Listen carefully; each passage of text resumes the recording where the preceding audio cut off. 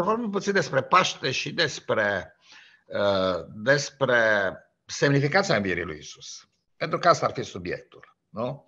Okay. Și uh, aș vrea mai întâi să uh, amintesc o poezie a lui Ion Barbu, numită Old Dogmatic, care începe așa. E dat acestui trist norod și oul sterp ca de mâncare, dar oul viu făcut cu plod, făcut e să-l privim la soare. Este o poezie despre ouăle roșii de Paște. Și poezia lui Ion Barbu arată că oul de Paște simbolizează o anumită concepție care era foarte discutată în perioada interbelică, în uh, cercurile, mă rog, în cerc, diverse cercuri filozofice, mai ales de dreapta, Mircea Eliade, de exemplu, cel mai, cel mai cunoscut, numită Eterna Reîntoarcere. Eterna Reîntoarcere. Și uh, ideea Eterne Reîntoarceri, uh, care acum este susținută cu foarte multe de Alexandru Dugin, ideologul lui Putin, um, este ideea că lumea uh, sau istoria merge în cicluri, în cicluri permanente. De exemplu, în timpul anului vine primăvara, vine vara, vine toamna, iarăși vine iarna și merge așa în ciclu, nu e așa? Și uh, primăvara este sărbarea Paștelui, la toate popoarele din lume. De ce este primăvara sărbarea Paștelui la toate popoarele din lume? De ce este iepurele simbolul Paștelui? De ce vine iepurașul de Paște? De ce ouăle roșii de Paște? Bineînțeles că există o întreagă mitologie creștină care încearcă să explice de ce, dar de fapt adevărul este că acesta mai vechi decât creștinismul. Și ideea este mitul eternei reîntoarceri. Ehm, oul este simbolul, cum apare în poezia lui Barbă, de exemplu, oul este simbolul creației perfecte, originare la început. După ce se naște, puiul începe să crească și moare, nu? După aceea. Dar găina pune alte ouă și ia de la capă și așa mai departe. Și istoria merge în cicluri. Deci este iarnă, primăvară, vară, toamnă și iarăși merge ciclu și uh, primăvara naturală naște și uh, oul este simbolul fertilității. La fel cum cozonacul uh, este un simbol al fertilității, adică din cereale și cereale, iarăși, mă rog, uh, simbolizează recolta care merge și așa mai departe. Uh, Crăciunul, iarăși, este, uh, este mă rog, uh, momentul în care ziua începe iară să crească. Deci iar începe să crească ziua, am observat că uh, noaptea începe să scadă, ziua crește, deci se întoarce soarele, se întoarce și timpul merge în cicluri. Dar uh, aceasta este concepția tradițională. Și din cauza asta, spunea Blaga, veșnicia să la sat. În lumea satului, în lumea triburilor, mereu se repete același ciclu. Te naști, crești, te căsătorești, faci copii, ai nepoți, apoi mor, ai o înmormântare, la înmormântare vine satul, până îți faci o pomană și așa mai departe. Ciclul acesta se perpetuează. Asta se numește eterna reîntoarcere și ideea este un timp sacru. Un timp sacru care a fost la început perfect și apoi începe degenerarea în timpul profan, până ce istoria ajunge la momentul de degenerare supremă, totul se prăbușește și istoria iarăși ia de la capăt cu timpul sacru. Acum, asta este concepția despre Paște în toată lumea pe care o numim păgână. Și asta se serbează, de fapt, de Paște. Și chiar atunci când se spune Hristos a înviat, întotdeauna, în toate mitologiile păgâne, era un, un zeu care murea, era Osiris, sau era Euridice, iubita lui Orfeu, uh, era, uh, cum se numea, Tamuz, țineți minte în, în, în Biblie că erau femei care plângeau pe Tamuz sau plângeau pe zeul care se coboară în infern, iarna și vara, primăvara iarăși renaște și înviază. Și erau uh, religiile mistere în păgânism, uh, inclusiv în lumea greacă, dar multe, cel mai multe erau din inspirație orientală, în care oamenii în noaptea învierii veneau cu, cu făclii, ieșeau dintr-o peșteră. Ei intrau în peșteră, așa cum Orfeu a intrat în infern, să o caută pe Euridice, și când iese Orfeu din infern, din infern ei ies uh, din peșteră cu făclii sau în alt context, uh, zeița Demeter copoară să-și, să ia pe fica ei din infern și când iese te scoate și pe tine și așa mai departe. Și toate acestea mitologie a fost transferate la Paște și mai ales în lumea ortodoxă, în, mitologie, în creștinismul răsăritean, care este mult mai tradițional toate aceste ritualuri și toate aceste mituri au fost perpetuate și am mers la biserică de înviere, înconjoară biserica cu făclii și după aceea spun Hristos a înviat. Dar de fapt este uh, același mit al eternei reîntoarceri, uh, același idee a timpului ciclic. Acum aș vrea să trec de aici la problema învierii lui Isus. E un aspect foarte interesant care apare în 1 Corinteni, capitolul 15, și aș vrea să amintesc, ca să nu mai vă obosesc deschizând Biblia și fraților deschidem Biblia, Cuvântul Domnului, acolo și acolo citim, să amintesc așa pe din memorie conținutul la 1 Corinteni 15. Deci Pavel spune uh, că vă fac cunoscut Evanghelia, spune el, pe care ați primit-o, în care ați crezut și prin care să zmătuiți dacă o țineți așa cum ați primit-o. Și după aceea spune, v-am învățat mai întâi de toate că Isus a murit pentru păcatele noastre, a fost îngropat și a viața a treia zi, după Scripturi, și după aceea viața s-a arătat la mai mult, spune el, cam 500 de oameni, spune Pavel, lui Chifa, la vreo 500 de oameni și la urmă mi s-a arătat și mie, zice el, mai departe. Acum, vreau să pun o întrebare, gândiți puțin. Este acesta un argument suficient să demonstreze că Isus a înviat ca eveniment istoric? Și răspunsul este probabil nu, da? Deci, uh, uh, dacă singurul argument pe care îl avem pentru uh, un eveniment atât de extraordinar ca învierea lui Isus este vreo 500 de oameni spun că l-au văzut înviat, considerăm că pentru un eveniment atât de extraordinar, Martin înviere, nu, nu sunt dovezi suficiente. Pretenții extraordinare necesită dovezi extraordinare. Și din cauza aceasta, Uh, am putea spune că dovezile uh, citate de Pavel, l-am văzut eu, l-am mai văzut 500 de oameni, nu sunt suficiente. De exemplu, dar discutam cu Silviu despre problema colonizării planetei Marte. Există dovezi că există viață bacterială pe Marte? Există. Dar sunt considerate suficiente? Nu. De ce? Dacă aceste dovezi ar fi considerate suficiente pe Pământ, dar nu pe Marte. De ce? Pentru că pretenția extraordinară necesită dovezi extraordinare și deocamdată nu avem dovezi extraordinare. Dar, în cazul vierii lui Isus, pretenția e și mai extraordinară. Și dovezile nu sunt uh, suficiente. Dar aici urmează chestia interesantă. Pavel spune așa, că dacă Hristos nu a înviat, el pune altfel problema după aceea. Uh, dacă se zice că Hristos a înviat, el nu spune dacă Hristos a înviat, dacă se zice că Hristos a înviat. Cum zic unii că nu există o înviere? Și spune mai departe, dacă Hristos n-a înviat, spune el, însemnează că morții nu înviază. Dacă Hristos a înviat, însemnează că morții înviază. Deci observați că Pavel aici nu mai discută problema învierii lui Isus sub aspectul pot dovedi, fiindcă l-au văzut 500 de oameni. Nu-și pierde timpul cu acest argument. Eu vă spun sincer, l-am văzut și nu mi s-a părut. Aia 500 sunt credibili. Nu-și pierde timpul, fiindcă și înseamnă că argumentul nu este de natură să, să susțină o pretenție atât de extraordinară, ca fiind un eveniment istoric real. Dar el pune problema altfel.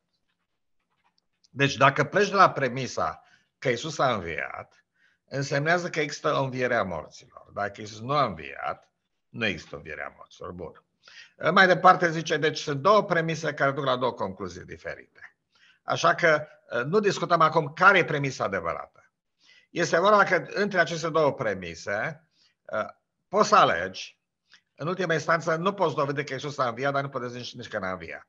Sunt unii care spun că a înviat, alții cei mai mulți nu l-au văzut, nu l-au văzut decât foarte puțin, nu știu dacă a văzut bine sau nu, deci nu poți dovedi aici nimica. Dar uh, sunt două axiome, de la care pe bază logică ajung la două concluzii. Și una dintre concluzii este că morții înviază sau nu înviază. Dar Pavel merge mai departe. Deci dacă Isus n-a înviat, însemnează că suntem încă în păcatele noastre, zice el, și cei ce au dormit în Hristos sunt pierduți. Deci, oarecum, dacă luăm conceptul de păcat la Pavel, e mai, mai complex decât e la noi. La pocăiți nu-i veți să faci aia sau aia la altă. El vorbește de păcat ca o forță care pentru Pavel păcatul este o forță care controlează voința omului și omul orice ar face, oricât ar face, pe urmă iarăși pică în aceeași treabă. Așa că pentru el, dacă Hristos ne-a înviat, însemnează că noi nu avem o putere să ne eliberăm de forțele nihiliste sau destructive din natura noastră.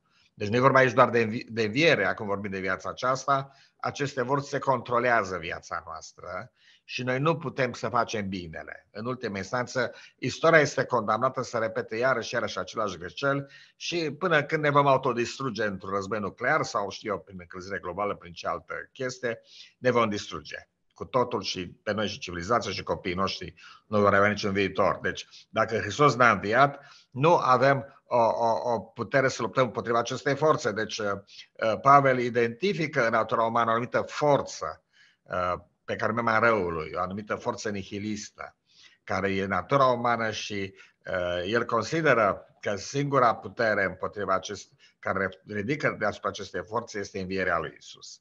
Și mergem mai departe, spune, dacă Hristos ne-a înviat, însemnează că suntem cei mai nefericiți dintre oameni. De ce asta e întrebarea? Să mâncăm și să bem, că și mâine vom muri. Păi ce e o problemă cu asta? Deci dacă Hristos ne-a înviat, atunci să mâncăm și să bem, că și mâine vom muri. Perfect. Mâncăm, bem, asta spune și Eclesiastul de altfel. Filozofia asta o găsește în Eclesiastul, da? Beați vinul, mănâncă pâinea, trăiește viața cu soția ta și gândește că de multe vor fi zile de întuneric. Așa că mai pune un pahar de vin, mai nu știu ce, cu soția, mai uh, mănâncă bine, asta este totul.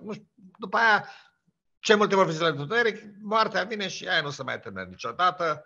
Și asta, această concepție pe care o numim nihilism, nihilism, se găsește în Eclesiastul, de ce nu? Este de fapt concepția Vechiului Testament, că Vechiul Testament nu are, o, nu are, concepție, o, nu are înviere. Vechiul Testament nu există înviere. Domnul te va binecuvânta în viața asta, îți va da de toate și după aceea asta este.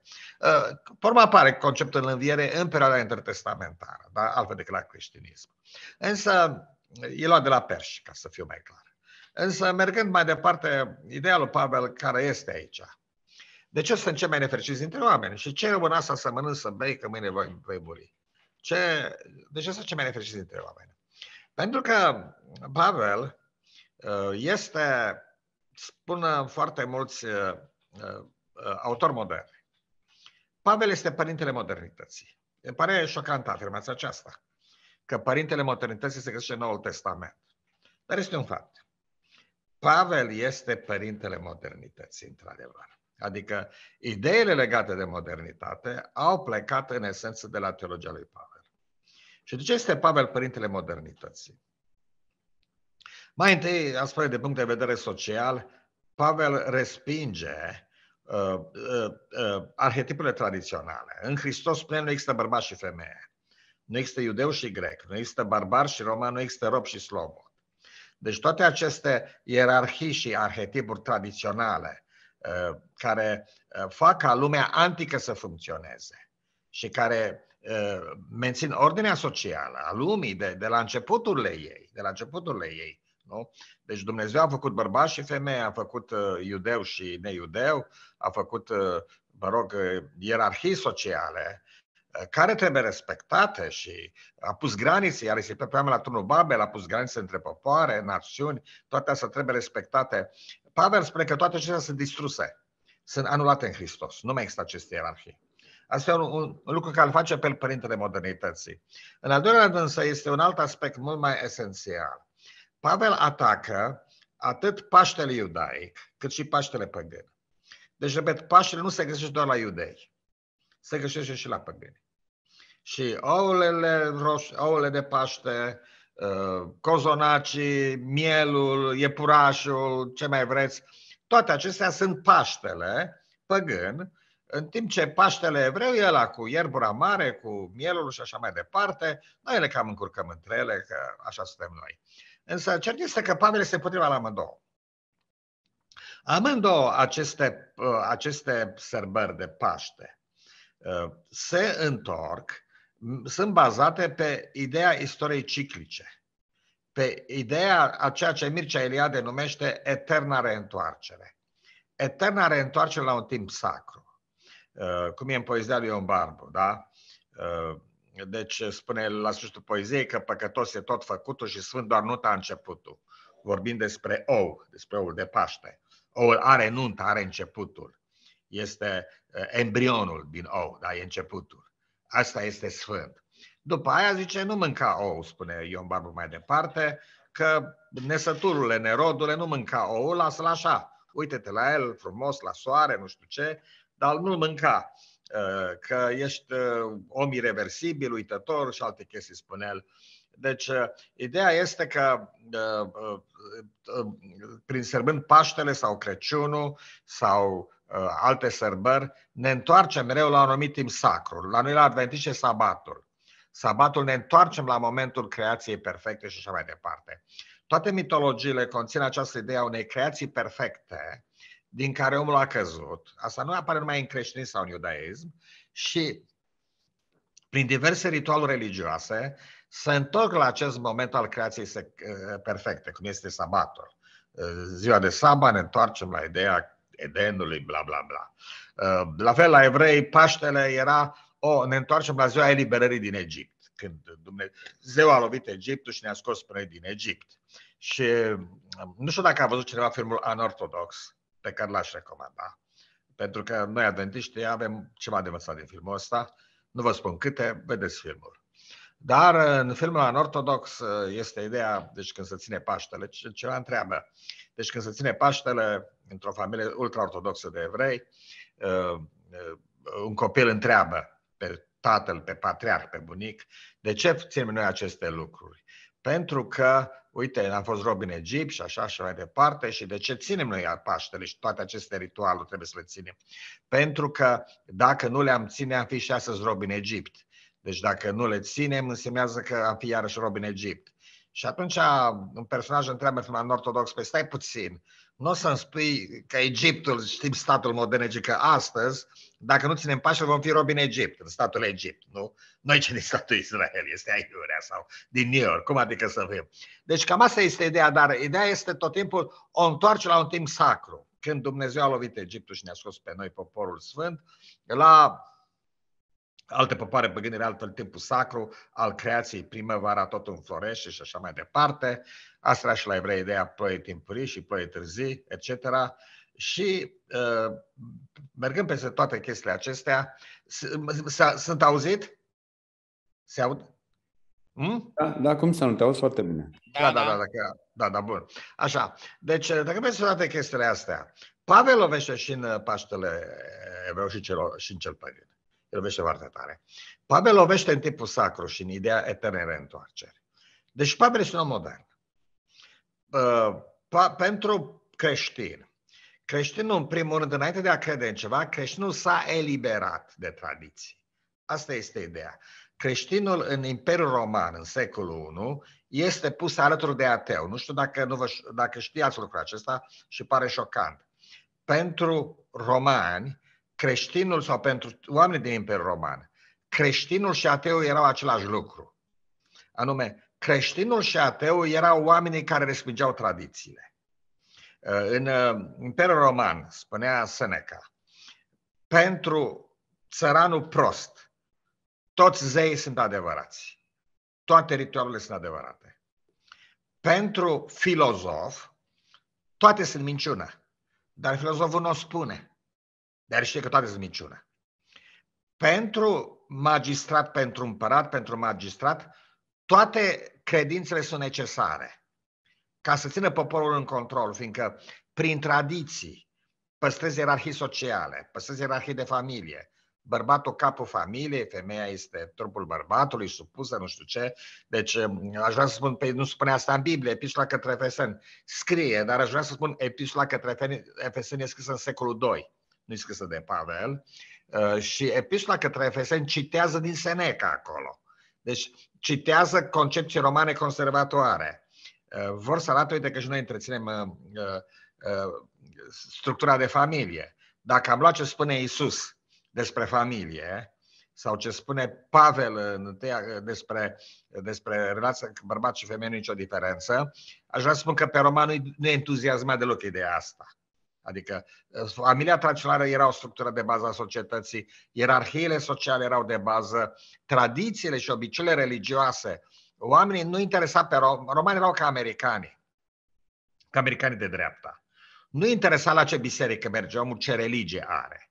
Ce interesa pe el era să fie prins într-o anumită tradiție religioasă, cu anumiți preoți, o anumită ierarhie, care să-i poată controla. Așa cum, de exemplu, când, a început, când la începutul la Wikileaks eram printre Andy mi-a arătat de Wikileaks mie și eram printre puține care știau de Wikileaks cu, când începuse prima dată. Nu se știa nimic de Assange atunci.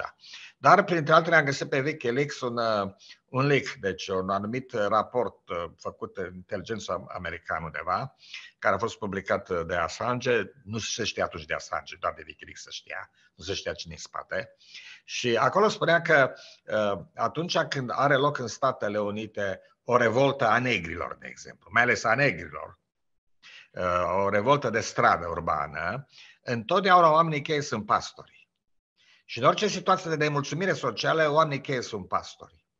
Pastorii sunt cei care trebuie să-și influențeze bisericile ca să, ca să se integreze social și din cauza asta, mă rog, pastorul trebuie respectat. Și eu, eu observat și o treabă asta. Uh, chiar dacă nu ești plătit cu un salariu, faptul că undeva scrie de tine că ești pastor în America contează, când te oprește polițistul cu mașina, când treci pe la securitate la aeroport, contează. Deci sunt oameni cheie. Cam asta era și concepția romanilor, indiferent la ce templu mergi. Preotul este un, un om cheie. Indiferent ce religie ai, e, trebuie să ai o religie. Pentru că toate sunt bune. Însă, creștinii apăreau alături de atei. Atei erau considerați periculoși. Filozofii erau atei, dar nu spuneau ateismul era considerat o crimă. Pentru că ateul nu se integra în ierarhiile sociale. Ideea aceasta este și astăzi în, în America destul de puternică în cercurile de dreaptă, dar și în Europa și în alte părți, adică un ateu este supranaturalul un dușman al societății. Creștinii erau considerați atei. Repet, creștinii sunt considerați atei, căutați Lucian de Samusata, scritor roman din secolul II, creștinii sunt considerați atei în Imperiul Roman. De ce sunt considerați atei? pentru, din cauza lui Pavel. Pentru că sunt oameni moderni. Creștinii nu, ap, nu, nu aparțin de niciuna din aceste tradiții. Creștinii nu au întoarcere la timpul sacru. Deci dacă vreți, creștinii nu țin paște nici cu idei, nici cu păgânii. La data aceea, când Pavel spune, Hristos Paștele nostru a fost jertfit. Bun, am încheiat povestea cu Paștele. Creștinii nu au timpul sacru, nu au mitul eternei reîntoarceri. Acest mit al eternei reîntoarceri este foarte important pentru păstrarea ordinii sociale. Gândiți-vă la cântecul nostru Țărâncuță, Țărâncuță, de Țărâncuță, Țărâncuță, așa, nu prea mi-au recămză. Îl știți însă cântecul, nu așa? Bun. Și cum e cântecul? Era o, un, când iese Badea la păscuza Rușceie și iese și mândra la arată, sfârșitul la prășit, mai și care chestia, dar la horă duminica e tot cu ochii după ea și când e joc de alunel e tot, mântuța e tot după el, nu știu ce, și apoi urmează un flirt și o sărutare furată noaptea la izvor și pe se căsătoresc și pe au copii și pe copiii cresc mari și pe ce gospodărie frumoase au și aici când se oprește, pe urmă mor. Dar moartea nu-l sperie pe țăranul român. Odată ce ai avut ciclul vieții, ai fost la hora, ai jucat, ai văzut-o pe mândruța, te-ai căsătorit cu ea, a fost la nuntă, vine nunta, fata este codană la, la horă, codană însemnează care cos, da? Și are capul descoperit. La horă e codană, joacă ca codană, în ziua anunții vine cu vălul pe cap, nu știu ce, e foarte frumos, să bea vin roșu ca dovadă că fata a fost virgină, bineînțeles. După aceea femeile o iau într-o, într-o, într-o cameră separată, îi despretesc cozile, le împletesc așa în jurul capului, îi pun broboada pe cap, nu așa? Și fata se întoarce, nu mai este codană, este muiere de acum. A intrat. Dar ăsta e ciclul vieții, gata, s-a terminat. A fost frumos, a fost floare. Acum aduci roade faci copii. Bun, face copii, femeia bătrânește, riduri, o mai cârpește bărbatul, baticul pe cap, nu mai e codană, este muiere de acum, sau nevastă, ceea ce același lucru. Uh, voi știți mai bine în spaniolă ce semnează muiere, nu? Deci e nevastă, face copii, copiii cresc, uh, copilul e botezat, copilul botezat. După aceea, copilul crește, se căsătorește și el, îi faci nuntă copiilor și până îți vezi nepoții. Vorba mor. Și când mori, știi că ți se face înmormântare, ți se face pomană. Cea mai mare nenorocire pentru țara român este să moară și să nu aibă parte de o mormântare. Să nu aibă parte de o pomană și de un parastas. Asta e cea mai mare nenorocire. Viața este cum este, dar după aia trebuie să ai toate. Deci este acest ciclu etern care se repete iarăși, iarăși de-aia spune Blaga Vejicia s-a născut la sat. Iar Paștele, Crăciunul, Duminica, dacă vrei, cu hora înainte, sâmbăta, sabatul la noi, toate să fac parte de această eternă reîntoarcere, care asigură o anumită stabilitate socială în ultima instanță. Ori uh, uh, uh, or Pavel respinge de aceasta, total. El respinge orice tradiție, orice credință în timp sacru, în, în sărbători sacre, în mâncăruri sacre, în instituții sacre, toate le respinge. Deci, din punctul de vedere al unui roman, uh, uh, între, între creștini și atei nu există nicio diferență. Și din cauza asta spun mulți uh, gânditori moderni că Pavel, de fapt, este creatorul modernității. Acum noi îl avem pe Mircea Eliade și Mircea Eliade a fost aici la Chicago, profesor, la University of Chicago, unul dintre cei mai cunoscuți oameni din uh, lume, cel mai probabil cel mai faimos rom, intelectual român din lume, Mircea Eliade, altul de Milcioran. Și Mircea Eliade, uh, în cartea lui Sacru și Profană, are o mare critică a omului modern. Omul modern a pierdut sacru, spune el. Omul modern a pierdut acea sacralitate a ritualului, a, a, a gândirii care vedea sacrul în, în, în căsătorie, în sex, în, în, în ciclurile naturii, toate acestea le-a pierdut omul, omul modern și trebuie să recăpătăm acest sacru. Și Mircea Eliade a fost uh, citat, cu, uh, adoptat cu foarte mult entuziasm de foarte mulți politicieni în timpul nostru, cum este Alexandru Dugin în Rusia, cum, este, cum a fost uh, idiotul de Ovalo de Calharo în, în Brazilia, care a murit de COVID, fiindcă era împotriva vaccinului uh, și a COVID-ului, că nu există, așa. Uh, cum uh, este Horia Patapievici în România, de exemplu, sau Ion Alexandru a fost care a murit și el în România, cum este Stephen Bannon în Statele Unite iarăși. Deci toți oamenii aceștia vor o întoarcere la sacru, la tradiție, pentru că societatea se duce de râpă nu are niciun Dumnezeu, nu are nicio tradiție, nu are nicio ierarhie. Jordan Peterson, iarăși, avem nevoie de ierarhie, ierarhiile sunt naturale, le au și iracii și noi ne tragem de iraci în opinia lui, în sfârșit, lăsând că idioții asta la o parte. Deci, uh, Jordan Peterson are ideea aceasta, toate miturile creației pleacă de la un început masculinii deasupra, femininii de desubt, ca și în poezia lui Ion Barbu, cu dogmatic, nu am acum. Deasupra stă, la un pol al oului stă principiul masculin, la celălalt stă principiul feminin, haosul și așa se creează lumea. E poezia lui Barbo, cam asta este ideea la Brâncuș, la, la uh, Geneza, acel ou care se numește Geneza, sau Sărutul iarăși, care este începutul. Deci aceeași idee. Deci uh, noi trebuie să ne întoarcem la acest sentiment al sacrului ca să uh, regândim societatea, să o desecularizăm. Secularismul este cel mai mare rău. Și Pavel va susține secularismul. Iisus susține secularismul. Da cezarul ce al cezarului Dumnezeu ce este al lui Dumnezeu. Pavel susține secularismul. Um, Roma adoptă creștinismul și Roma, uh, uh, Roma introduce sărbarea Crăciunului ca sărbarea lui Isus. Dar este o sărbare veche, este cultul soarelui acolo, da? cultul solis invictus. Chiar și simbolul ales de Constantin. Uh, nu știu dacă este crucea sau este soarele, de fapt reprezintă pe amândouă. Roma vrea Paștele, sunt multe controverse între răsărit și apus care se data Paștelui, Eh, dar până la urmă tot, e controversa între calendarul Iulian și cel Gregorian, bineînțeles. Însă, în cele din urmă, eh, vreau să spun că Roma are Paștele, Imperiul are familia creștină, care de fapt este familia romană, sfințită prin, eh, mă rog, Efesen, capitolul 5 și așa mai departe. Deci, toate acestea uh, uh, sunt la un moment dat rupte în apus nu răsărit de o școală nouă în secolul XIV numită Via Moderna, în Opusecovia Antica, care apare pe la cuvântul modernitate în universitățile apusene, secolul XIV. Apoi este Reformațiunea, care dintr-o dată aduce modernitatea.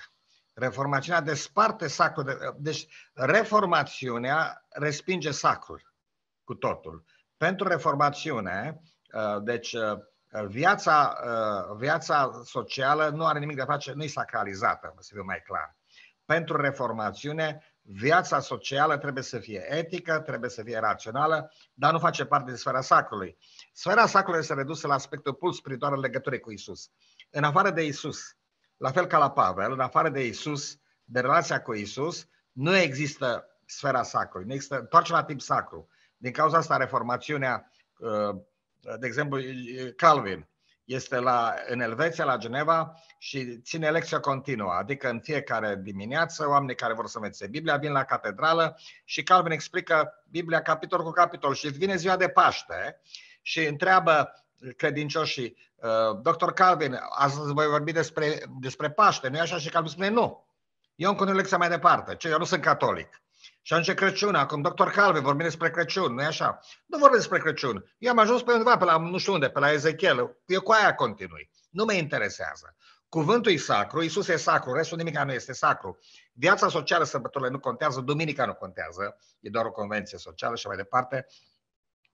Deci aici apare aspectul protestantismului care deranjează foarte pe oameni ca Mircea Eliade și care deranjează foarte mult Biserica Ortodoxă. Deci noi ca adventiști, să nu uităm, noi am apărut ca protestanți. Adică ca oameni care strică sfera sacrului și ține minte cei care de vârsta mea știu mai bine, dar probabil și și alții, diverse conflicte pe la mormântări și pe la pomeni și așa mai departe, în care eram acuzați că noi distrugem tradițiile și etc. Și mi-aduc aminte de un eveniment hilar de viața mea, eram în armată, în București, cu mai mulți uh, prieteni, uh, mă rog, uh, pe la ora 11 noaptea, când aveam ce căuta pe străzile din București, în uniforme, veneam de nu știu unde uh, veneam, așa, și uh, treceam pe lângă cimitirul Belu. Și vine, ne întâlnim cu patrola și patrola ne spune să ne oprim, noi o luăm la fugă, patrola fuge după noi, ne ia din două părți, eu pun mâna pe gardul cimitirului, sar gardul în cimitir și au la fugă prin cimitir. Nimeni din patrol n-a fugit după mine, pe toți pe la i-a prins. I-a prins și i-a dus la Bulău, la, cum se spune, la, la garnizoane. I-a dus la Bulăul garnizoane, unde au stat vreo câteva zile, s-au tors tuși în cap de acolo, că au încercat să o vede patrulă tuși în cap, de dormiți, obosiți, mă rog, mai de capul lor. Eu nu am avut probleme. M-am, am dus la unitate, am sărit iar gardă, am sărit că, geamul la dormitor și m-am culcat. Dimineața m-am scolat deșteptare. Și zic, băi proștilor, zic, de ce n-ați fugit după mine? Eu am făcut principite, n-a venit mie după mine. Să, păi cum să facă după tine principite, mă, ce așa de buni? Păi de ce n-ați venit după mine? Păi băi, tu ești ateu, măi, zice. Tu ești ateu. Și nu sunt ateu, măi. Nu sunt ateu, cum să fiu ateu? Uh, voi nu știți nici ce familie vin eu dacă spuneți că sunt ateu. Eu, eu, eu vin într-o familie mai credincioasă decât a voastră. Vezi, bă, de treabă, băi, tu numai un ateu fuge noaptea prin cimitir. Un om care crede în Dumnezeu nu trece noaptea prin cimitir. Tu nu ești credincios. Deci observați aceeași chestie ca în Imperiul Roman secolul I. Nu crezi, adepți aceste, toate aceste tradiții, ești ateu. Pentru ei asta este sensul credinței, sacrul. Uh, cimitirul e sacru, nu e ceva sacru. Și dacă profanezi cimitirul, poți să tulburi morții și te, te întregi cu un strigoi sau nu știu ce. Pentru că te, nu pentru că cimitirul ar fi loc blestemat, dar fiindcă e loc sacru pe care n-ai voie să-l profanezi, nu faci așa peste morminte, sar peste cruci noaptea prin cimitir, nu poți face chestia asta. Acolo să intră cu o anumită ordine, etc., etc. Uh, toate lucrurile acestea ce arată? De ce spune Pavel să ce mai nefericiți dintre oameni? Pentru că, aici este problema, creștinul, în principiu, în secolul I, creștinul este primul om modern din Europa. Creștinul este omul eliberat de superstiție, de tradiție, de sacru, de opoziția sacru și profan, de sărbători, de acest ciclu ale eternei neîntoarceri, care îi dă omului tradițional o anumită pace sufletească. El știe că aparține de o religie, de un trip, de, de o anumită tradiție și omul are pace fiindcă respectă tot aceste lucruri. Creștinul nu le mai respectă. El nu este nici iudeu. Nu mai ține Paștele la iudei, dar nu este nici uh, păgân. Nu e niciuna nici alta. El e un om fără religie, de fapt, că și un om fără religie, secolul I. El este omul modern. Și atunci întrebarea este, care pune Pavel aici. Deci dacă le abandonăm pe toate astea, ce îți rămâne? Să mâncăm și să bem, că mâine vom muri. Adică nu mai există niciun ideal, nu mai e nicio speranță, rămâne toate acestea. De aceea noi creștini suntem cei mai nefericiți dintre oameni, pentru că nu suntem drogați. Dacă religia este opiumul poporului și este, creștinul este un fără religie. Inițial creștinul e un fără religie, să nu uităm lucrul acesta, ca și protestantul, ca și bunicul sau străbunicul vostru adventist din România, care în sat era văzut ca omul fără religie. Să nu uităm că nu avea biserică adventistă acolo să se închine. Deci creștinul este un fără religie și nu are opiumul poporului, nu drogat. El are ochii deschis și are mintea trează. Și atunci, care este alternativa la toate aceste religii și tradiții și la sacru, la Paște, la toate sărbătorile, simboluri religioase? Alternativa este nihilismul. Nu crezi în nimic. Să mâncăm și să murim că și mâine vom, să mâncăm și să bem că și mâine vom muri. Asta se numește nihilismul. Nu cred în nimic, nu există niciun ideal, nu merită să trăiești pentru nimic, practic este o sinucidere filozofică. Termenul este nihilism și aici este problema. Deci, uh, pentru Pavel, ai de ales între a crede că Hristos a înviat sau a fi un nihilist. Nu există o altă, a treia cale. Există o a treia cale pentru iudeu, pentru păgân, pentru ortodox, pentru catolic. Uh, dar pentru un protestant, în adevărat sens al cuvântului, și pentru un om modern, există doar Hristos a înviat, sau pentru un modern există o singură religie, protestantismul, sau uh, nihilismul. Și atunci uh, apare această problemă care este foarte actuală în modernitate.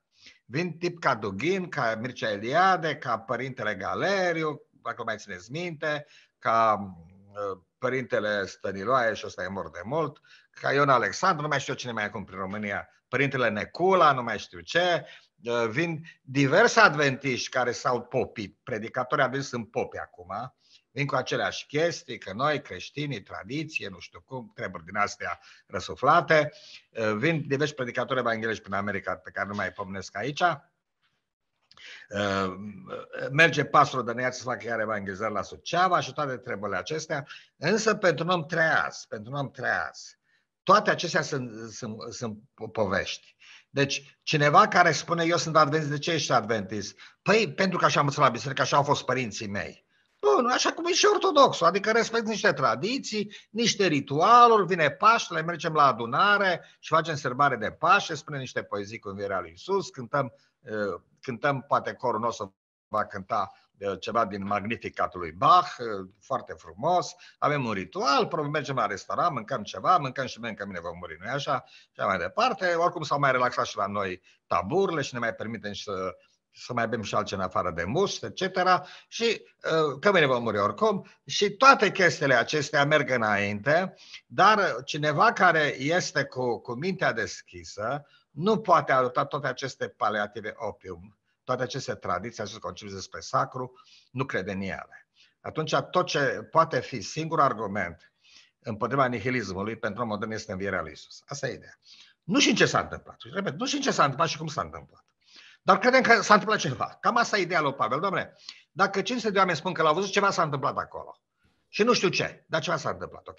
Este ceva dincolo de ceva dincolo de, de, de ceea ce este natural și explicabil și măsurabil, în care credem uh, că dacă nu suntem în păcat, adică suntem prizonieri în acest, în acest cerc vicios al vieții și morții, din care nu putem ieși, suntem prizonieri în propriile noastre slăbiciuni animale ce nu putem ieși din ele, în propriul nostru egoism. Nu putem ieși din ele, ne vom bate până vom crăpa, până vom avea un război nuclear, ne vom tot bate între noi ca chiorii pe planeta asta, până vom nimici cu totul și unii se duce pe Marte și vor muri acolo, probabil, de radiații. Unii de radiații uh, termonucleare, de bombă termonucleară aici pe Pământ, alții de radiații cosmice pe Marte și toți, toți ajungem la fel, muri de cancer cu toții.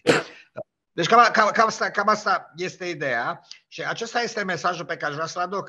Motivul pentru care cred este pentru că nu pot fi un nihilist. Deci mai întâi, ca un modern, uh, și pentru că sunt adventist, mă declar nou modern. Nu pot fi adventist dacă nu sunt modern, nu pot fi, uh, nu pot fi adventist dacă nu sunt modern.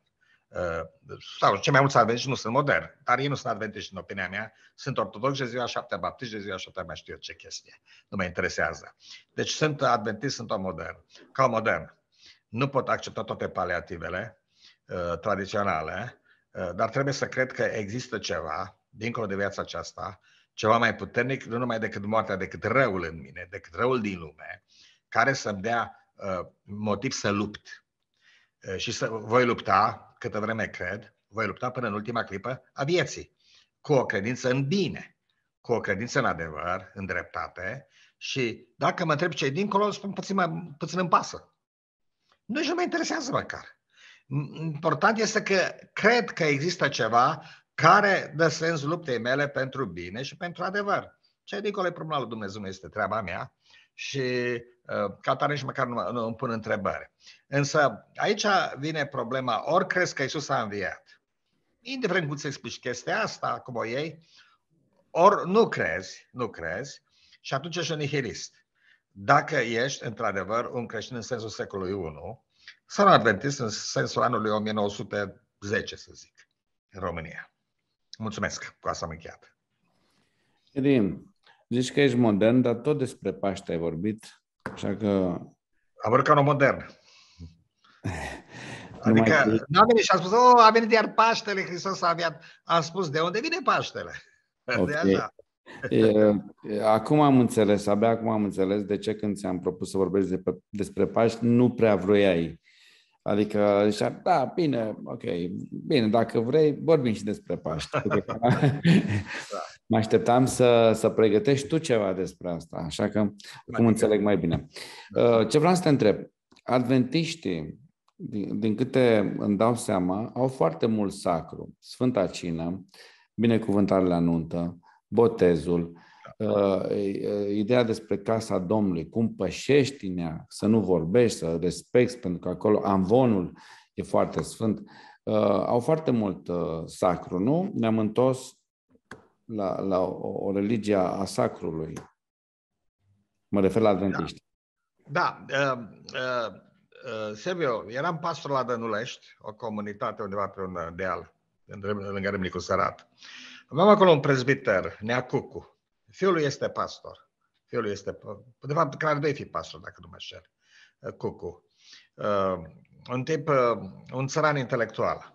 Ceea ce înțeleg, adică un țăran, un ceapiz, dar un intelectual, în adevăratul sens al cuvântului, în opinia mea, uh, cu toate că nu era școlit. Uh, el îmi explica, zice, uh, Biserica de la Dănulești nu este o biserică adânsă, este o biserică ortodoxă de ziua șaptea. Asta era explicația lui, totdeauna. Trebuie să înțelegi, frate, că noi aici, zice, în satele astea nu suntem advenți, ci ortodoxi de ziua a șaptea. Și uh, până la urmă a picat uh, victimelor comploturi politice biserică și a căzut. Uh, adică l-au, l-au făcut turtă, ca să zic așa, Uh, dar fiii lui se pare că au ajuns iar toți cei în, în lucrare. Um, ce vreau să subliniez aici este faptul că, uh, într-adevăr, că tu ai dreptate. Uite, vreau să luau un exemplu nunții. Uh, în biserica creștină și în bisericile protestante, de fapt, nu există un sacrament al nunții. Deci, catolice și ortodoxi au sacramente sau taine. Nunta este considerată o taină în Biserica Ortodoxă, un sacrament în Biserica Apuseană. Dar în protestantism nu există alt sacrament decât uh, cina Domnului și, și, și botezul. Astea sunt cele două sacramente care le cunosc protestanții. Ca tare nunta, dacă în primul rând nunta la nu poate fi un sacrament. Adică ideea că uh, serviciul de cununie ar face ceva este, este, este total ne, ne, ne, neprotestantă. Eu am fost șocat când în America am văzut că pastorul nu dă binecuvântarea. Uh, pastorul spune, îi pune pe cei doi să-și facă jurământul și apoi spune, în, în virtutea puterii date mie de statul Illinois, de exemplu, vă declar soț și soție. Pe mine m-a șocat chestia asta. Spune că spune pastor, ca pastor al Evangheliei vă declar soț și soție. Dar, în fond, uh, America fiind protestantă ca origine, recunosc faptul că virgulă căsătoria este un contract social și nimic mai mult. Ceea ce se întâmplă în biserică este un jurământ pe care cei doi îl fac unul altuia în fața lui Dumnezeu și în fața mai multor martori, că își va fi lui al unui altuia. Dar esența este jurământul lor. Și asta era prima biserică creștină. În prima biserică creștină, cei doi, practic, își jurau unul altuia. Nici măcar nu era un pastor care să oficieze nunta. Cei doi în fața comunității își jurau unul altuia loialitate și asta era nu căsătoria. Restul era contract social. Căsătoria creștină ca sacrament vine însă din, din dreptul roman. în care căsătoria este definită ca împletirea dreptului civil și divin, divin și uman. Anume, cei doi făceau un contract social, romanii erau cu contractele și aveau un drept al, un, un sistem juristic al familiei foarte, foarte complex, foarte dezvoltat, care stă la baza dreptului familiei în timpul nostru. Dar după aceea, după ce făceau tot contractul social, cei doi mergeau la templu. Și acolo făceau un jurământ la templu. Și acolo era rolul preotului. Constantin și mai precis cei care după Teodosius celălalt și ceilalți lideri ai bisericii creștine au, au, au încreștinat acest sacrament roman. Însuși cuvântul sacrament însemnează jurământ și vine de la romani. Deci au încreștinat sacramentul și l-au făcut creștin. Asta este toată chestia.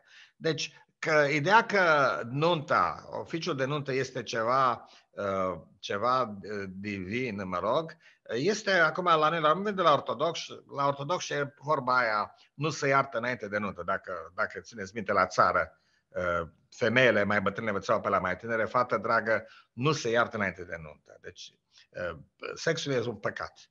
E păcat, că pe la urmă e poftă, de ce e păcat. Dar se iartă după nuntă, nu se iartă înainte de nuntă.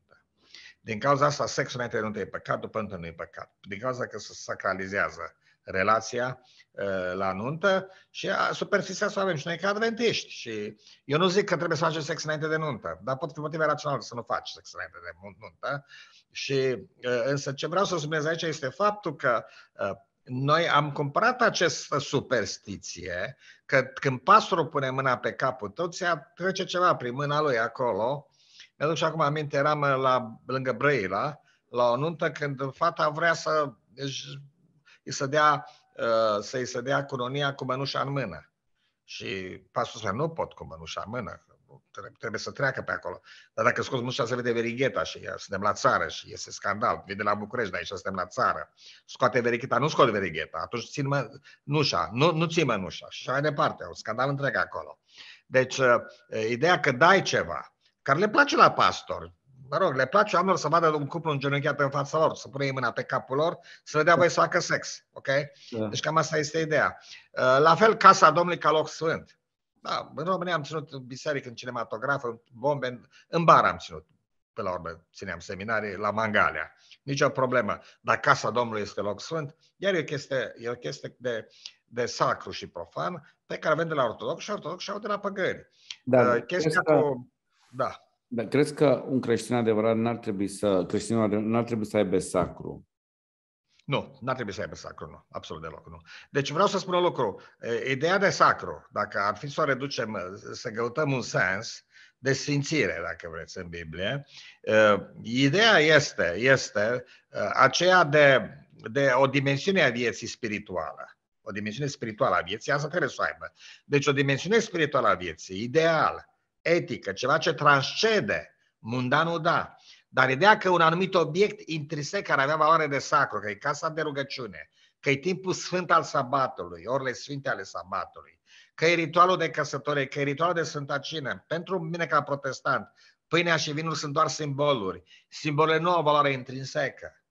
Deci există și acum ideea asta să nu dai pâinea de Sfânta Cină la copii după ce se termină Sfânta Cină. De ce să nu dai? Dă la copii să o mânce. A, nu, frate, trebuie să o arzi. De ce să o ard? Care e diferența dacă dai la copii sau o, o ard? A, nu, vinul varsă la, la, la rădăcina unui copac. Nu, dă să-l bem, vinul îl bem după aceea cu toții. Punem aici și îl bem. Dăm și la copii, nicio problemă, că nu e alcool.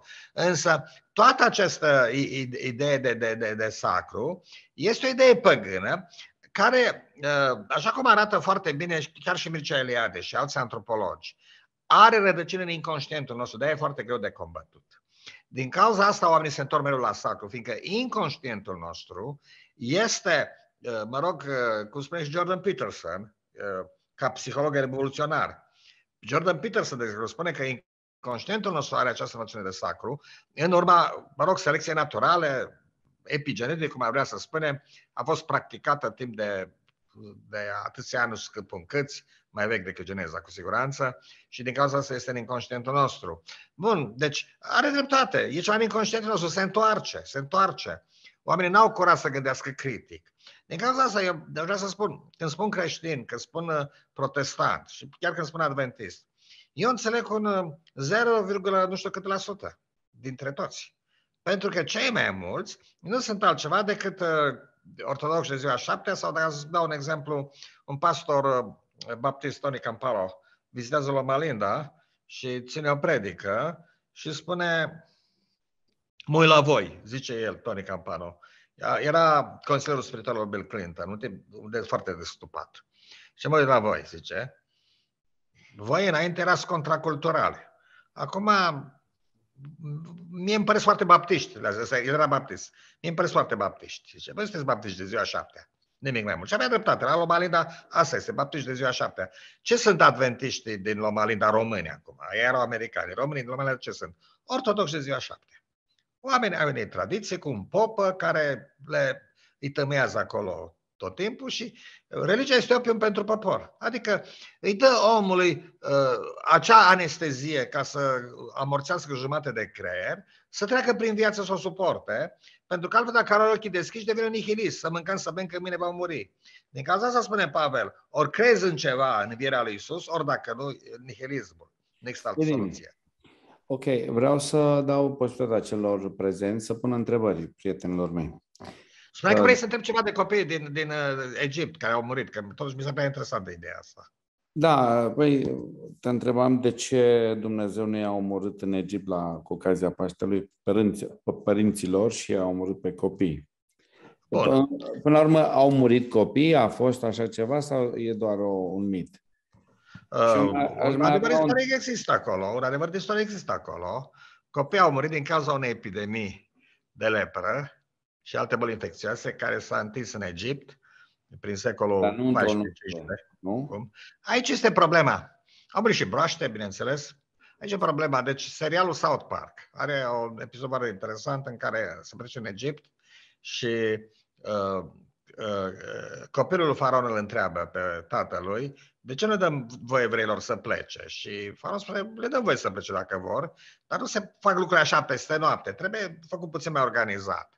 Și după aceea încep să cadă broaște moarte din cer, nu știu ce, sânge pe ape. Și zice, uite, asta spune copilul, vorbește cu faraon. Și uite, asta face Dumnezeu evreilor, nu așa? Este Dumnezeu. Și faraon spune, nu, fiul meu, Dumnezeu nu face așa ceva. Dumnezeu nu face niciodată așa ceva. Și la urmă zice, uite, spune Moise că vor muri toți copiii din Egipt, întâi născut și o să mori și eu și că o să mai Dumnezeu.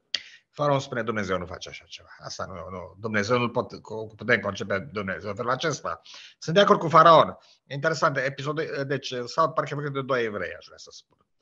Și asta spune mult.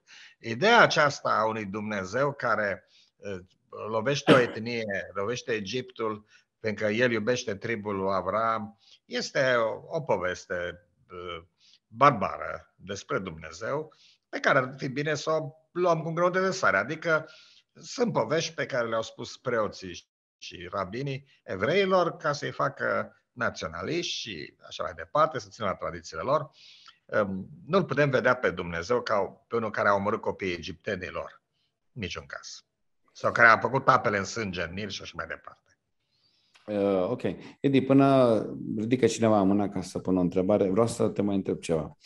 Dacă ar veni acolo la tine acum în Chicago și ar intra pe ușă. Cine? Isus. Cine spune? Da. Isus. Uh, tu n-ai avea un pic de, cum să zic așa, n-ar fi uh, ideea că este sfânt, că este Dumnezeu, nu ți-ar crea uh, o, o atitudine de, de sacru pentru el ca persoană uh, de care să te apropii cu o anumită an, an, cum să zic eu, o, o atitudine care este asemănătoare de ceea ce omul acum religios înțelege prin sacru? Nu știu dacă reușesc să mă, să mă exprim. Da, am înțeles foarte bine. Silviu, cred că aici să lăsăm pe Iisus să spună, degeaba spuneți, Doamne, Doamne, nu faceți să vă poruncesc eu, da? Iisus ne spune să-L privim pe cel mai neînsemnat dintre frații Lui, dintre semii noștri, așa cum îl privim pe El.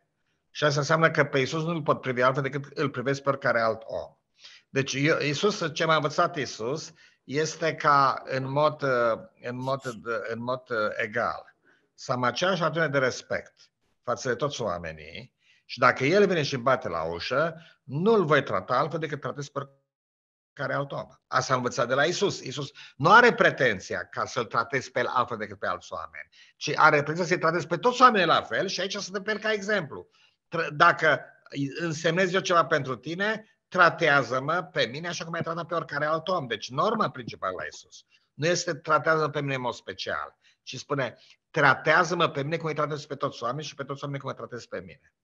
Așa că pare rău. Am ceva sacru, viața oricărui om este sacră, dacă vrei. Conștiința fiecărui om este sacru, în sensul că este specială și cu respect și este inviolabilă și este un absolut pentru mine. Dacă prin sacru numim ceea ce se numește un absolut, orice om este un absolut pentru mine, iubirea este un absolut. Uh, în acest sens este sacru. Dar ideea de a fetișiza anumite lucruri, oh, vine Iisus, bă, îl avem pe Iisus acum cu noi, gata, vai, ce chestie. Tocmai asta spune Iisus să nu faci. Zice, nu pe mine, pe ăsta mai mic, pe ăsta micu, pe ăsta umilul, pe femeia asta, pe ăsta tratează, așa gândește, nu la mine. Da. Eu n-am înțeles niciodată. Eram atât, pe vremea când eram și un pic de pastor și m-am întâlnit dată cu, cu tinerii și zic, hai să ne rugăm.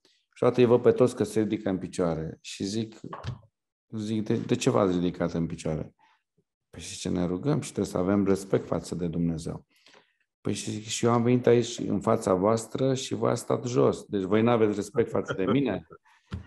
Da. da. Și eu lucrul ăsta nu-l înțeleg uneori. Uh, faptul că an, pentru rugăciune, de exemplu, uh, cei care sunt creștini, în general, fac un, un semn de respect, ori se pun în da. genunchi, ori se ridică în picioare. Tocmai pentru, a, pentru că au în, în sânge noțiunea asta a sacrului, nu? Sau de ce? Da, Silviu, nu vreau să fiu nici ca într-o extremă.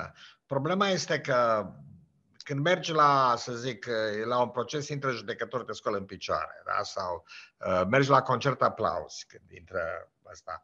Deci problema este că în public, în public, în public, uh, noi avem un comportament simbolic. Uh, să ne putem ruga stând jos, ne putem ruga în picioare, ne putem ruga în genunchi dacă vrem, cum vrem să ne rugăm. Nu, nu asta contează. Uh, cu ochii închiși, cu ochii deschiși, mâini împreunate, mâini uh, la spate, uh, nu contează asta. Problema este că în orice întâlnire publică există un anumit limbaj corporal care comunică că noi, ca mulțime, să zic, la un moment dat avem o anumită atitudine unică, comună, și asta însemnează să adoptăm un anumit limbaj corporal comun pe momentul acela. Deci nu cred că ne scoalăm picioare înaintea lui Dumnezeu, pur și simplu, sau îngenunchem, sau ne aruncăm la pământ înaintea lui Dumnezeu. De altfel, uh, uh, toate acestea sunt, uh, nu sunt ceva inventate nici de idei, nici de creștini, fiind de la păgâni toate acestea. Deci, nu, ideea de a, te, de a te pleca în fața lui Dumnezeu cu fața la pământ este, de fapt, ideea că Dumnezeu este un, un despot oriental, care totdeauna cerea să îngenunchezi și ideea cu mâinile așa, mâinile sunt legate, capul plecat să ți-l taie, da? Deci prizonierul vine cu mâinile legate și capul plecat și uh, sabia ridicată deasupra capului, dar uh, dacă regele face un semn, va trăi. Și asta este relația noastră cu, cu Dumnezeu. Vine Estera la împăratul Ahasverus, îngenunchează, împăratul îi, îi, îi întinde toiagul, trăiește, dacă nu va fi omorâtă că nu intri la împărat fără să fii chemată dacă e soț- chiar dacă e soția lui. Deci asta este ideea despotului oriental. Acum, e un lucru foarte interesant aici când a fost, când, dacă țineți bine din istorie, când perșii au trimis-o la Sparta ca să ceară pământ și apă și regele Sparta, regele Leonida i-a aruncat în fântână, că acolo găsești pământ și apă. După aceea le-a fost rușine ce au făcut, că nu omor soli și uh, chiar dacă se pregăteau pentru război, uh, spartane au vrut să-și ceară iertare perșilor pentru ce făcuseră, fiindcă considerau că e dezonorat ce au făcut. Și au trimis doi soli, spartani la împăratul Xerxes, Ahasveros din Biblie, și, mă rog, uh, când au intrat acolo, li s-a spus să îngenuncheați, că să față împăratul, vă aruncați la pământ, mai ales că cetatea voastră i-au omorât solii. Ăsta e furios acum. Și cei doi spartani au intrat acolo și uh, li s-a spus să îngenuncheze și au răspuns împăratului, noi suntem spartane, nu îngenunchem în fața nimănui. Noi, uh, mai bine mărim decât să îngenunchem în fața cuiva. Și împăratul Ahasverus s-a râs și ce foarte bine, mergeți acasă, vă iert că mi-ați omorât uh, Soli, însă spune Spartei să se, pre, să se supună și iert. Dacă nu se supune, avem război. Și discutăm la voi în Grecia. Acolo vă judecă pentru chestia asta. O să vă bățo și pe voi grecii să îngenunchiați în fața mea. Așa cum știm, n-au, n-au reușit. În schimb, spartanii aveau altă chestie. În fața regelui nu îngenunchiau, dar în fața regelui stăteau drepți, ca și romanii. Luau poziția de drept în fața, uh, uh, în fața autorității militare. Și uh, noi ca, noi ca, ca europeni am luat chestia asta de la greci și de la romani. Anume, nu îngenunchem când mergem la șeful, dar ne ridicăm în picioare în fața lui. Deci, oamenii în Roma, nimeni nu îngenunchea în fața cezarului. Nu-i spunea maestate, îi spunea pe nume, cezar îi spuneau, da? Nu îngenuncheau în fața cezarului. Dar când intra cezarul, ă, senatul stătea în picioare. Și ca atare, ă, limbajul de respect ă, este de fapt social, adică noi îl vedem pe Dumnezeu ca pe un împărat, de genunchi în fața lui, dar îl vedem și ca pe un șef, spunem în fața șefului, nu stai, oricum, în, în, în, când am pastor la Rânicu Sărat, era mare lege că n-ai voie să stai picior peste picior în, în biserică, că în fața șefului nu stai picior peste picior. Și stăteau toți pastorii la în România la Avon crăciți, pardon de expresie, cu picioare așa desfăcute la Avon, că nu poți sta așa tot timpul, ai nevoie de o poziție relaxată. O oră întreagă, erau acolo un cârd întreg de 5-6 oameni la Avon și se desfăceau așa picioarele, că aveau altă, altă poziție, că nu putea sta tot timpul așa chestii, dar nu putea sta picior peste picior. E, e, e o idee foarte, foarte stupidă până la urmă. Normal că ai nevoie de o poziție relaxată, că stai pe scaun. Dar presupun că atunci când ești la un interviu undeva, ca să fii angajat la un geam, nu stai picior peste picior, stai așa puțin mai speriat, nu? De, dar vreau să spun, limbajul corporal. Însă, greșeala aici este că considerăm că asta facem că Dumnezeu ne cere așa sau ca să-L impresionăm pe Dumnezeu, nu are nicio legătură cu Dumnezeu. În măsura în care e un limbaj social, în care reprezintă respect față de instituția respectivă, față de ceea ce facem, da? Dacă noi suntem o grupă și avem respect față de religia noastră, față de rugăciune, o putem face, așa? Ca să arătăm respectul. Eu vreau să spun că nu-L învățăm pe Dumnezeu, nici, măcar, nici dacă stăm culcați, nici dacă stăm în cap, nici dacă stăm într-un picior, nu-L învățăm pe Dumnezeu cu nimic. Adică Dumnezeu nu, nu e, e prea mare ca să poată fi ofensat de poziția noastră de, de primate bipede, cum ar veni. De altfel, dacă vorbeam de primate, nu uitați un lucru, că la toate mamiferele, poziția de supunere este cum suntem noi la rugăciune. Când vine alfa melul, te supui, te pleci la pământ. Probabil din cauza asta îngenuncheau în fața regilor înainte, văzuseră la animale că atunci când vine alfa masculul, ă, ăla masculul mai slab, se așează în genunchi și cu capul în jos, ă, ca să nu-l ia la, la alt în coarne. Și atunci am, am învățat și de chestia asta. Ok, eu nu mai am nicio întrebare. Aștept din, din partea voastră celor prezenți să, să luați cuvântul.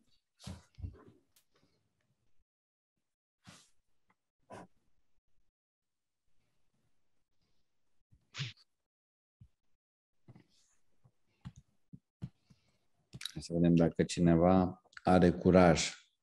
Păi atunci o să spunem, înainte de plecare, spune Hristos a înviat sau Paște fericit, cum să vă spun. Nu, duminică ieri e duminică. E duminică, ok. Deci așa e chestie creștere cu Duminica Paștelui. E duminică pentru catolici, nu pentru ortodoxi. Da, duminica alta. Acum, e diferența între calendarul gregorian și celul iulian. Iarăși. Și aici luat totuși pe cei stiliști, aia vechi care n-au, n-au, n-au adoptat reforma calendarului și e o întreagă confuzie și așa mai departe. Este, orice dată e convențională în ultima instanță și noi ținem Paștele în sabat, face să de Paște în sabat, nu așa? Edim, totuși, uh, Pavel a înlocuit sacrul cu mitul ăsta, nu, al învierii lui Isus. Bun, uh, Pavel nu prezintă învierea lui Isus ca pe un mit, ci ca pe un eveniment istoric Uh, greu de dovedit. Din punctul de vedere, învierea lui Isus e un eveniment istoric, uh, nu îl poate dovedi decât cu argumente foarte slabe, dar spune, uh, având în vedere că efortul de a demitologiza lumea și de iudaism și de păgânism lasă pe om într-un vid, spune, ori crezi în învierea lui Isus, ori nu crezi în nimic, bei, mănânci, mâine vei muri și ești cel mai nefericit dintre oameni, adică intri în angoază existențială. Ca să spunem așa. Ok, lăsăm la o parte... Uh, Ala Emil Cioran, ala Emil Cioran, de exemplu, da? Aspectul deci ăsta... Emil Cioran, după ce, uh, ca să dau, Emil Cioran, pentru că el n-a adoptat uh, superstițiile lui Țuțea sau filozofia mistică a lui Eliade, Emil Cioran s-a considerat pe sine cel mai nefericit dintre oameni. nu așa? De ce? Pentru că n-a mai avut nimic. Okay? Noi, uh, ideea este, poți să renunți la toate acestea și să crezi în ceva. Lăsând la o parte uh, aspectul ăsta al, sac, al sacrului, um, de exemplu în cazul ăsta Paștele, uh, totuși e un eveniment frumos și toate obiceiurile astea uh, dau culoare vieții. Da. Cel puțin eram, mănânci bine, miel, exact, faci exact, un exact. Grătar, te întâlnești cu prietenii, de ce ceva mai vopsești o, chiar eu, eu am luat vopse astăzi de, pentru vopsitole. Și da, foarte frumos, chiar foarte frumos. vreau să văd cum, cum ies decolorate și bine, e, e ceva care întreține viața, nu? Ceva frumos. Bun, Silviu, vreau să spun o treabă. Când eram în România, tu n-ai apucat uh, perioada Dej în copilărie. Perioada Dej era mult mai, mai asertivă în, uh, în a promova liturgica comunistă decât perioada lui Ceaușescu, care avea doar cultul lui Ceaușescu. Deci la noi era liturgica marxistă. Și uh, țin minte că eram de Paște la teatru, ne-a dus la teatru cu școala la teatru și lângă mine era copilul șefului securității, care era cel mai bun prieten al meu pe, pe, pe, pe, pe ce era atunci, era raionul, raionul Ialomița, în sfârșit. Eram în Târgoviște și îmi spune, și de ce ne-a dus la teatru astăzi? Zic, nu, ca să nu meargă copiii la biserică, că e Paștele. Mi-a zis, e Paște? Da, e Paște, tu nu știi. Noi, noi doi eram cei care nu țineau Paștele, eu și cu băiatul șefului securității, doi, la toți erau cu Paștele. Uh, treaba care este, mi-aduc aminte cu plăcere de 1 uh, mai muncitoresc, uh, fiindcă de 1 mai mergeam la defilare după ce termina defilarea, peste tot era deschis, erau mici, era bere, pentru noi ăștia mai copii erau dulciuri, era nu știu ce. Defilarea era o chestie de, de, de distracție, nu știu ce, ne întâlneam pe acolo, așteptam să trecem prin fața tribunei. Pormo, uh, mergeam să ne plimbăm prin oraș. Era unul mai, eram, de exemplu, de acum locuiam deja în Constanța, mergeam să ne plimbăm prin oraș, uh, era primăvară, totul era deschis, totul era ieftin, ne plimbam pe faleze pe malul mării, era o zi liberă pentru toată lumea. O zi următoare era 2 mai, când se mergea la iarbă verde și mergeam, toată lumea mergea la iarbă verde, la pădurea Basarab din Dobrogea, acolo iarăși erau mici, era bere, pentru noi era, uh, era apă minerală și Alba. prăjituri, să mai știu ce chestii, să stătea pe iarbă, să juca mingea, să cânta dacă erai adventist, nu știu ce chestii, seara plecai acasă după o zi petrecută în natură, era, era frumos. Până și sărbările comuniste dădeau culoare vieții. În Corea de Nord, unde se fac acele mass game-uri, acele mișcări de masă, teribili chestii cu toate treburile astea, unor le place. Și de ce le place? Pentru că iau salariu pentru ziua aceea, sunt, stau o săptămână fără ies din fabrică și toată săptămâna iau salariu și au mâncare și uh, dorm undeva la un hotel, chiar și toată țara, fără, fără nimic altceva, au prieteni în timpul ăsta, stau de vorbă seara, nu știu ce, n-au nicio realitate față de comunism. Este o anumită ocazie că le oferă. Ceaușescu era prea prost să priceapă chestia asta și zicea că sărbăm 23 august prin muncă sau unul mai prin muncă și că era frică că, că îl de lumea prin fața tribunei. Dar nu înțelegea că oamenii au nevoie de chestia asta. E bine, Silviu, chestia asta au înțeles-o foarte bine. Cezare romani, Constantin, chestia asta au înțeles-o foarte bine episcopii bisericii creștine, anume ca să ții lumea în, în, în robie, în sclavie, ai nevoie să le dai ceva, nu numai că o credință, să le dai ceva care să-i, să, o bucurie a vieții și dacă în Roma înainte să dea pâine și circ, romanul uh, construia circ și jocuri de gladiator și pâine, creștinii după aceea au avut nervi mai slab, nu puteau să uite la jocuri de gladiator, nu așa? Dar făceau ceremonile alea cu, uh, cu, cu dacă în, în toate orașele medievale se făceau ceremonia cu răstignirea lui Isus cu Isus care își poartă crucea și se face și acum în America peste tot chestia asta, la toate campusurile creștine, cu soldați romani, cu nu știu ce, să fac toate chestiile astea. Asta era teatru de Paște și circul de Paște. Adică aștept să de Crăciun, să vină Paștele, pentru că e o serbare, e o zi frumoasă și că apoi să spui, o face o dată că suntem creștini. Și oh, păi atunci, uite, sunt unii care vor să ne distrugă creștinismul, sunt ăștia care vin împotriva tradiției, vin împotriva, împotriva credinței, ăștia și te uiți la american, american spune, aoleu, vor să ne ia Crăciunul. Sau românul, aoleu, voi sunteți pocăiți, voi sunteți împotriva la tot ce avem noi frumos și plăcut, ne luați pomenile, ne luați parastasul, ne luați jocul și le dau dreptate la români acum, stai puțin nici joc, nici cântare, nici parastas, nimic, ca ei totul. În principiu, ce vreau să spun? Eu sunt și pentru parastas și pentru pomană. Sunt pentru horă, pe care se dat-o comuniști, de fapt. Și ar fost bine să fie horă, să nu discotecă acum. Da? Sunt pentru folclor, pentru toate chestiile acestea. Numai că trebuie să, să înțelegem că toate acestea nu au nimic sacru în ele. Sacră e viața, dacă vrei, și asta exprimă bucuria vieții. Mă uit la un dans popular și să zic la călușar, da? Mă uit la un dans popular și îmi place. Uh, dans popular românesc exprimă o anumită vigoare și o anumită senzualitate sănătoasă, să zic. Foarte, foarte frumoasă. Însă, dacă uh, mă uit puțin mai adânc, astea la timpul lor erau ritual religioase, cum e călușare. Era ritual de exorcism toate treburile acestea. Uh, oamenii spuneau că fac ceva pentru zei sau pentru pormă, nu am putut spune pentru Dumnezeu, biserica creștină. Dar nu de creștin, să le făceau pe asta pentru zei. Bun, hai, sacră e viața, viața e frumoasă, așa că, Silviule, fă ouăle roșii, vopsește-le, fă cât mai colorate, cât mai frumos, pune, ascunde-le, pune copii să le găsească. Asta e viața, viața e frumoasă, celebrează viața. Dar... Adeline, Adelina, ai zis că nu vrei să întreb nimic, dar văd că ai ridicat mâna. Așa că te ascult. Uh, da, am vorbit despre Paște și eu am rămas cu o problemă. Da. Uh, Paștele era ceva, ceva lumesc, ceva care nu era al nostru, al adventiștilor. Pentru noi era cina. Da.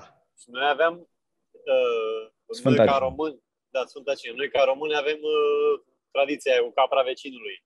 Ne uitam urât când uh, ortodoxii în zona noastră uh, prăznuiau Paștele, dar noi aveam de patru ori Paște sau cină și noi sărbătoream de patru ori.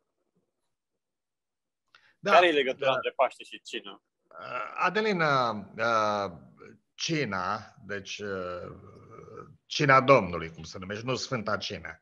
Deci prima problemă este că noi spunem Sfânta Cină. De fapt, Pavel spune uh, că este cina Domnului. E o altă diferență. Este o comemorare a ultimei nopți a lui Isus cu ucenicii săi. Și aceasta este ideea care spune Isus.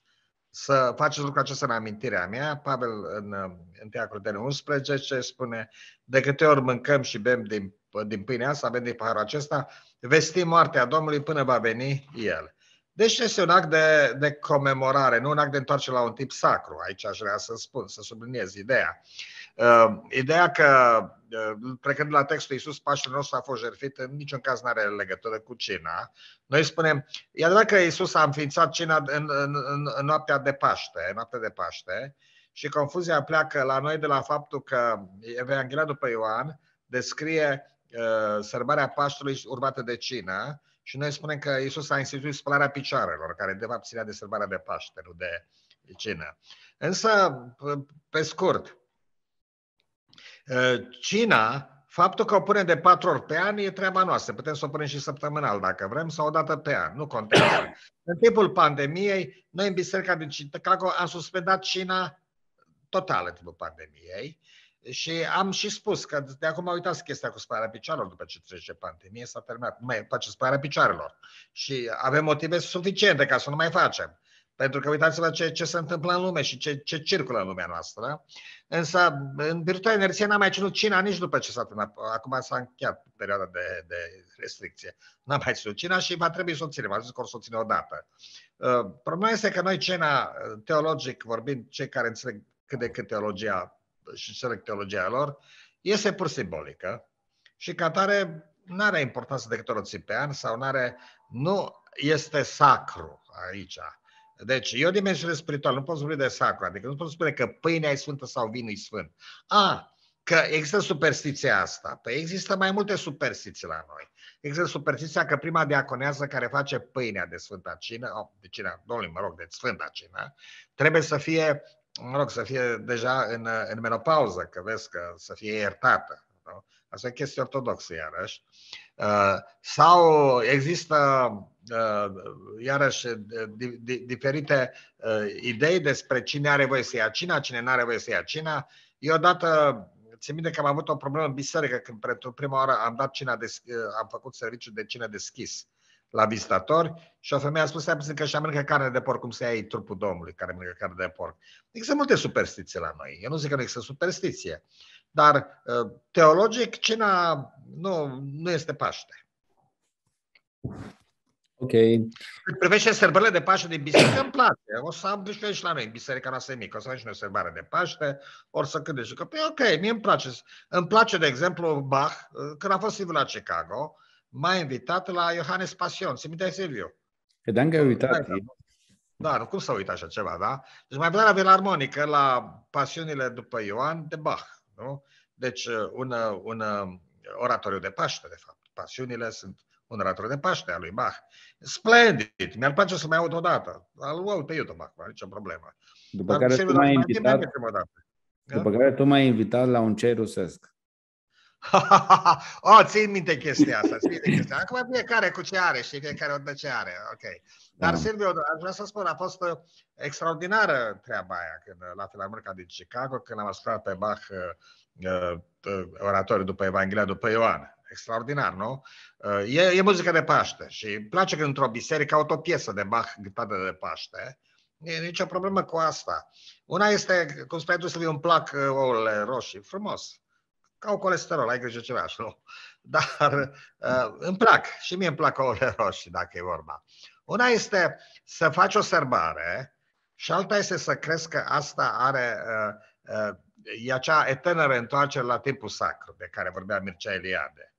Uh, cred că aici e o problemă. Deci, uh, cred că, în general, uh, religia ortodoxă e mai puțin, mai puțin mortificată decât cea catolică. În ortodoxia le, bucure, le place mai mult să se bucure de viață. Și atunci noi când atacăm chestiile astea, le luăm ceva din viața lor. Adică și așa viața e grea și monotonă. Îmi e și asta, îmi e și ouăle de Paște. Ce culoare mai e în viață, nu? Dacă e și ouăle colorate. Sau mie Crăciunul. Problema care este? Ne-ar trebui să aici, adică trebuie să înțelegem foarte bine ce spune Pavel Roman, capitolul 14. Faptul că cineva în superstiția lui dă valoare intrinsecă oului sau chiar iepurile, nu știu de unde până unde a mai ajuns și iepurile de Paște, deci dă valoare iepurelui sau oului sau cozonacului, nu înseamnă că eu trebuie să mă tem de aceasta, ca de un fetiș, cum spune Pavel Roman, capitolul 14, despre mâncărurile jertfite idolor. Bun, mănâncă, dacă te servește pe masă, mănâncă, n-ai treabă cu chestia asta. Uh, te invită la o pomană, o mănânci. Te invită la parastaz, mănânci, îți dă o roșu, spui Hristos a aviat. Nu e asta o problemă. Diferența este între aceea de a recunoaște că e o chestie socială, de bucurie și perfect, că e primăvară, și a crede că oricare valoare intrinsecă te sfințește, ori a crede că te pângărește. Că tu ești adventist, tu iei cina, tu nu ți, tu nu, nu ți paște, nu faci cozonac de paște, dar iei cina. Da? Uh, care e tot un fel de cozonac, pâinea aia făcută de prima diaconeasă. Cozonacul face bunica, e mai bun decât pâinea aia de la cină, până la urmă. Aici este problema, aș vrea să, să spun, viața este sacră dacă vreți să ne bucurăm de ea. Însă ideea de, a, de, de, de, de această întoarcere, eternă reîntoarcere la timpul sacru, uh, la un timp că e eliberarea din Egipt, că este uh, nu știu ce moment sacru la care se întoarce mereu lumea în, prin aceste sărbători, care este ideea care vine din, uh, din păgânism, uh, a fost introdusă în creștinism. Uh, creștinismul ca atare implică o demitizare totală. Creștinismul, ca și protestantismul, implică, cum spune Eliade, o descântare a lumii. Adică o devrăjire a lumii. Lumea este vrăjită pentru omul tradițional. Lumea ca o vrajă. Creștinismul adoptă poziția modernă spune Lucian Blaga, eu nu distrug corola de minune a lumii. Da? Creștinismul distruge corola de minune a lumii. Asta e chestia. Deci, uh, uh, cu mintea nu distrug a lumii taine. Da? Creștinul vede, uh, deci, omul tradițional vede o taină peste tot. Taina căsătoriei, taina nașterii, taina bobotezei, taina nu mai știu ce. Creștinul autentic nu vedea taine în toate acestea. Și la un moment dat apare ca un dușman al vieții, asta de lipsa lui de tact. Dar există o cale de mijloc. Te poți bucura de viață, în același timp să nu gândești superstițios lumea, adică să, să fii un tip secular. Un tip secular nu vede nimic sacru în jurul lui. Atunci nu ai nimic sfânt. Bun, ai idealuri mai înalte, ai valori mai înalte, ai o dimensiune spirituală a vieții, ai respect față de viață, față de natură, față om. Dacă numești asta sfânt, sunt bucuros să spun sfânt. Dar nu fetișizezi nimic, nici un obiect, nici un drapel, nici o cruce, nici o pâine de Sfânta Cină, nici o ceremonie de nuntă. Nu le fetișizezi, nici o poziție la rugăciune. Uh, nimic nu are valoare intrinsecă. Irin, mulțumesc mult pentru sala aceasta și Bun. eu cred că uh, e cazul să da. Bun. Paște fericit și aveți grijă. Să vă ai grijă cu ouăle, să nu, exa- nu exagerați cu ele prea mult, da? Ok, o să vă arăt ce o am vopsit. Bine, bun, bine. Mersi. Ok. Da. La revedere. La revedere. La revedere. La revedere.